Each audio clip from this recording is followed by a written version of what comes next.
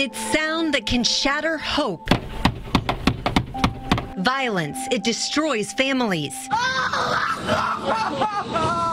Neighborhoods, I feel unsafe.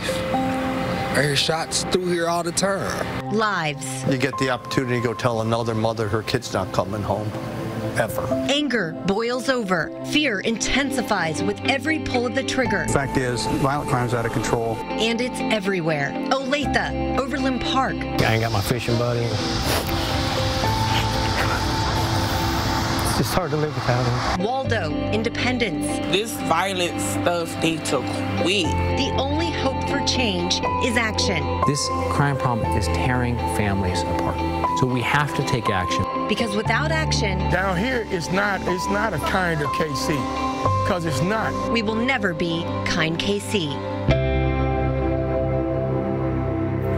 Good evening to all of you. Tonight, a 41 Action News special report. Kind KC say no to violence. Here at 41 Action News, we've started a movement to make our community safer. The idea is to say no more senseless deaths, no more fear in our neighborhoods. We can stop the violence, but it takes action from city leaders, state leaders, and you. Because as a community, we all need to stand up and speak out to say no to violence. Kansas City is on track to have one of its deadliest years ever.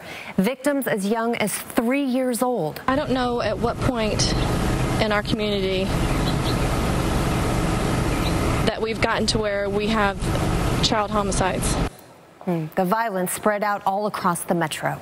A gunman shot and killed Kyle Longden's son CJ in KCK. I, I ain't got my fishing buddy.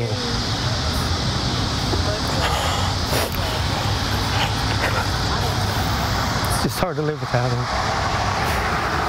Sometimes I just, just want to be with him. Years later, their emotions are still raw. His parents don't go to any family events. They don't even put up a Christmas tree. We have over 80 murders so far this year. Michelle Metji's son Corey, also killed. We're not going to go away, that these murders need to be solved, and that this needs to stop.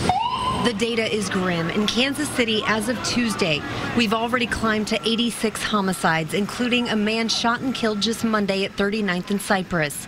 Of those, two involved children under the age of 16. I'm a little scared. I've been in the neighborhood 35 years and I don't like what's been going on. In KCK from 2005 to 2015, FBI statistics show just over half of the city's homicides were solved. In Kansas City during those same years, about the same. The impact violence has on children is profound. A recent survey from the Department of Justice shows children are more likely to be exposed to violence and crime than adults.